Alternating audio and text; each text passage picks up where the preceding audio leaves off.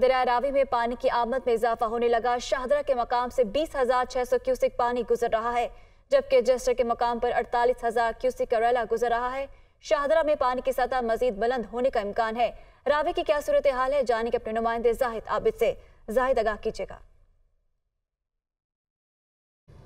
جی بالکل دریائے راوی میں گزشتہ چند ہفتے سے پانی بدستور موجود ہے اور اس کی سطح میں اتار چڑھاؤ ضرور دیکھا جا رہا ہے، لیکن پانی کی موجودگی بدستور دیکھی جا رہی ہے اور بہاؤ بھی بدستور ہے یعنی پانی مسلسل پیچھے سے آ رہا ہے۔ شادرہ کے مقام پر جو یہ چیز ظاہر کرتا ہے، آج کل بھی یہی صورتحال نظر آ رہی ہے۔ اس وقت تقریباً بیس ہزار چھ سو کیوسک فٹ پانی بتایا جا رہا ہے کہ شادرہ سے گزر رہا ہے۔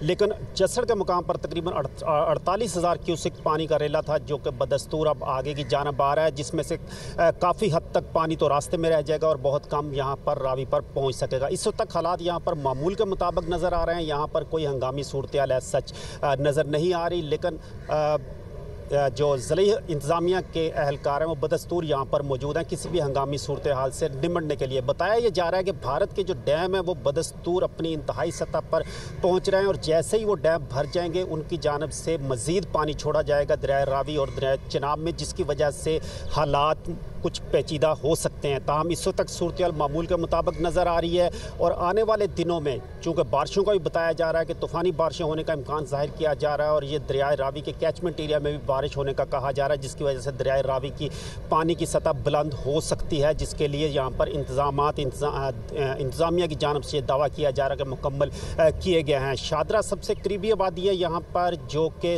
سال انیس سو اٹھاسی میں ایک سیلاب آیا تھا، اس سے کافی حد تک متاثر ہوئی تھی اور اس کے بعد کوئی ایسے حالات نہیں ہوئے۔ لیکن اس وقت جو صورتحال ہے، اس میں یہاں پر جو دیکھا جا رہا ہے کہ دریا کے اندر جو فصلیں اور کچھ جھگیاں بنی ہوئی تھی وہ متاثر ہوتی ہوئی نظر آ رہی ہیں۔ اس وقت بھی شادرہ کے علاقے پہ جو جھگیاں تھیں وہ لوگ وہاں سے جا چکے ہیں لیکن لوگ وہاں سے جا چکے ہیں۔ بہت شکریہ زاہد عابد ہمارے ساتھ موجود تھے۔